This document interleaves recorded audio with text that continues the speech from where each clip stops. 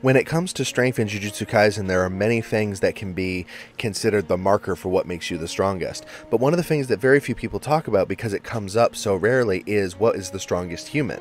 Now, obviously, a human is going to have a hard time keeping up with most sorcerers in Jujutsu Kaisen, but being able to do so makes them far stronger than most people ever realize. So let's go ahead and talk about who actually is the strongest human in Jujutsu Kaisen, and it's probably not who you're thinking of right away. When people often think of the strongest human in Jujutsu Kaisen, the first one that comes to mind is Toji, and that makes sense. Toji was strong enough to nearly kill, you know, Suguru Geto and Satoru Gojo, but admittedly not at their peaks, only when they were in school.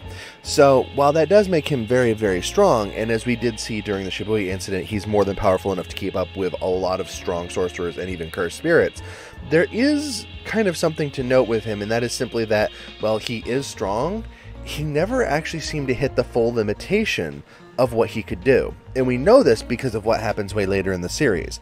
But that's because the strongest person isn't Toji Fushiguro, it's Maki. Yes, Maki actually ends up becoming the strongest human in Jujutsu Kaisen. And there's a very good reason that her strength is far far superior to that of Toji.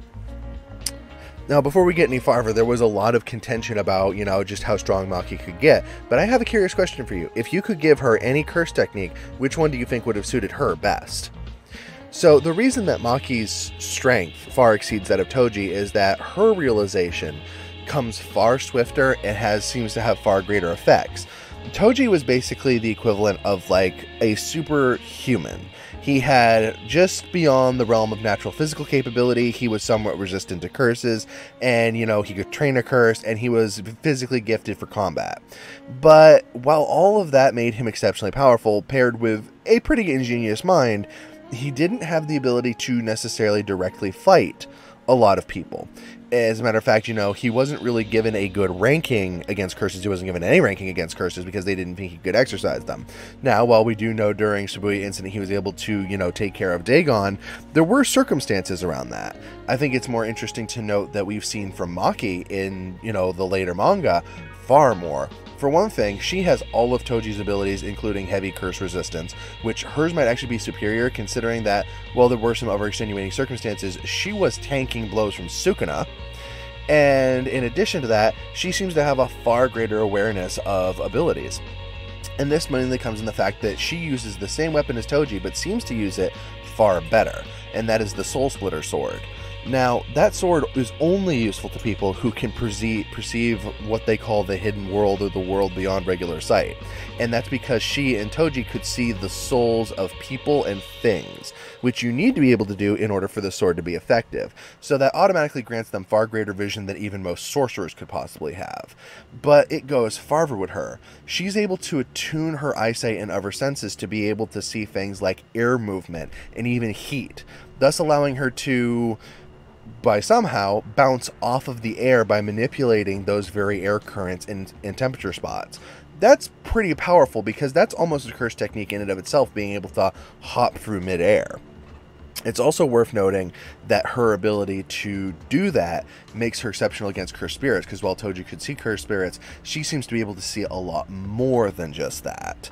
It's also worth noting that one of their greatest assets was their curse immunity, but it can go way further than that. Not only was she able to stand up to cutting blows from Sukuna, which, let's be honest, for anybody without cursed energy should have not probably been possible, even with the circumstances around that, but in addition to the fact that she's not susceptible to domain expansion. This is true. Now, while it was never confirmed that this would work with Toji or not, I have to assume that it wouldn't, but it might not have been an ability that he tested. But we know for a fact that Maki is A, not capable of being dragged into a domain expansion, but then also B, she's capable of being within one without being targeted by it. Now, I happen to think that's pretty interesting because it essentially makes her immune to the vast majority of opponents.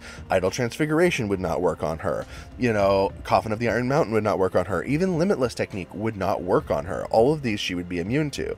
The only things she's not immune to, technically, would be open domain expansions. Whether that's because the domain expansion itself was incomplete, probably like 10 Shadows, or she would be subjected to the same effects as a building because they actually make the comparison that the immunity to this works like physical objects in the real world. You know, you don't drag a building into a domain expansion, you can only drag people. So it's worth noting that if she was, say, confronted with Malevolent Shrine, her curse immunity would kick in, but she would still be subject to the same cutting attacks that all of the buildings around her would be. But even with that in mind, it's still an exceptional ability. You also have to compare all of this off the fact that she is a very good tactician. We've seen that repeatedly throughout the series with her overcoming enemies even before she got her power up. And combine that with her mastery of weapons, because they do say she is the best curse tool user, that is an incredibly powerful set of abilities, and it makes her the greatest human in Jujutsu Kaisen. There is one last weapon that is vital to her, and that is the fact that, much like Toji, she has no cursed energy, therefore, she's not subject to fate.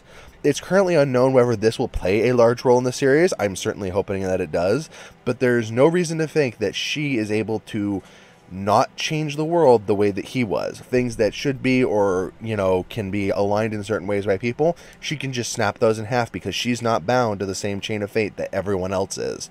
So, what do you think?